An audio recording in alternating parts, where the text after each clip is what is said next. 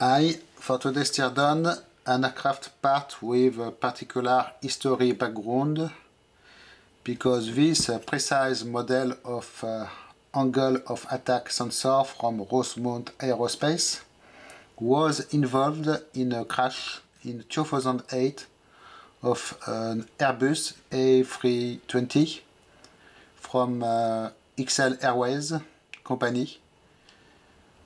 The DAXLA aircraft, uh, it was uh, a transit flight with no passengers, luckily enough, so all, uh, there was three or four people on board, I believe, when it crashed in the water in the Mediterranean Sea. It was back from repainting procedure and apparently an improper uh, cleaning of the aircraft after the repainting made the uh, ball bearings in the sensors to freeze with water in them and all of the three sensors became defective and it made a chain of events that uh, did uh, cause the crash of the airplane. There is a whole report I will link about this crash. They did they do provide uh, photos of uh, recovered probes and uh, cutaways and everything on the report. So I cannot publish them because they are copyrighted, but I will link the document in the video description or you will, see, you will be able to see. So actually there is a maze in here, so normally the water cannot go in on the watertight bearing, but still all three of the probes got stuck because of a cleaning of the aircraft apparently. So this uh, is called uh, vane. It will uh, move according to the airflow of the aircraft. You have normally three of them on the aircraft, two on the one side and one on the other side. And it will detect uh, yes, your angle of attack. So it is uh, moving that far with very hard stop as you can hear.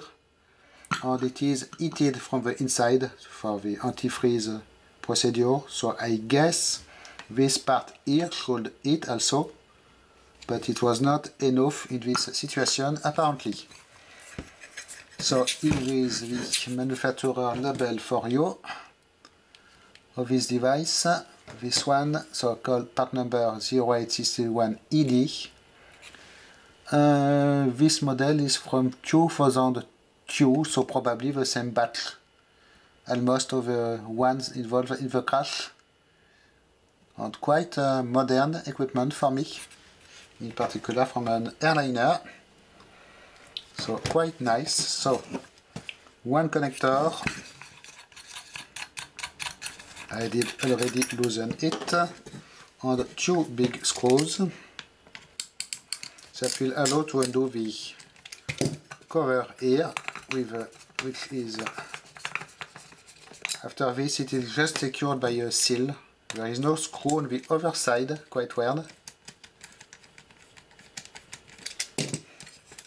So this could be uh, screwed to the fuselage and there is another uh, plate I believe coming over it. We'll just cut out here. So what do we have inside I need to work it loose all the way around. A little bit at a time. Not that easy. As you can see. But it will come off eventually. Here we are. And I have to drive out this connector. So the casing here is just aluminium. and here is what we have inside. Actually quite straightforward. Almost no electronics just uh, mechanics. So you can see the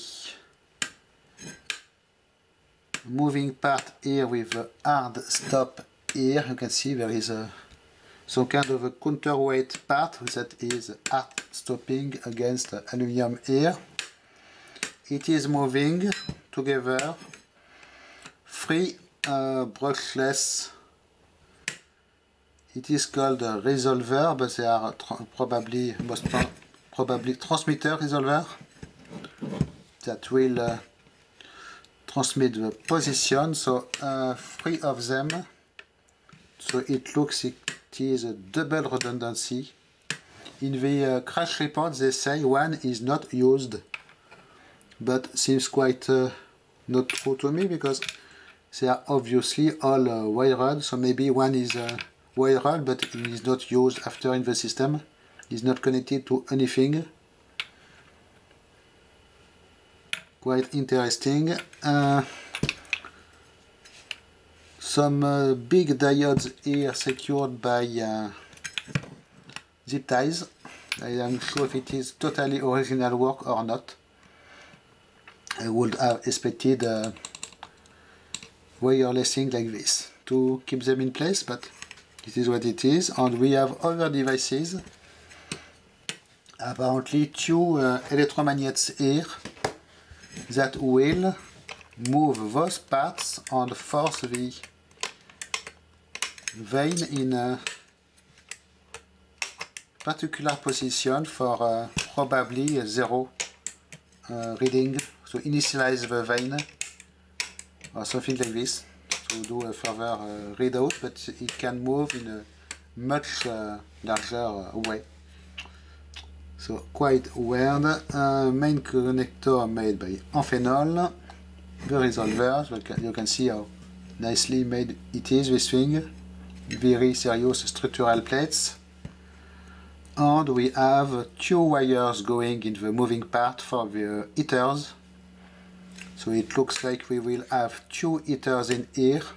So if one fails the other one will still be working. But they are connected here together on the connector. So they are apparently on the same power supply. I am checking. Yes. Looks like two wires here two wires here. So they are connected in parallel. So if a, su power supply to them fails they will not hit. I would have expected to have them separate. Two uh, separate power supplies for better redundancy. So very nice mechanical stuff. Very good quality from, uh, as you can expect, from Rosemount Aerospace, but obviously it was not enough to prevent the crash because of those devices. So quite amazing.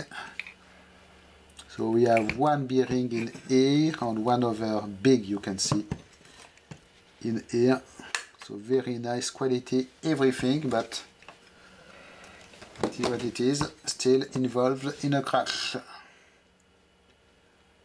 Okay a beautiful uh, part for my collection because I did not have one of them. Actually I had one from a MiG fighter that I did sell on eBay. I might have a teardown of it on my channel.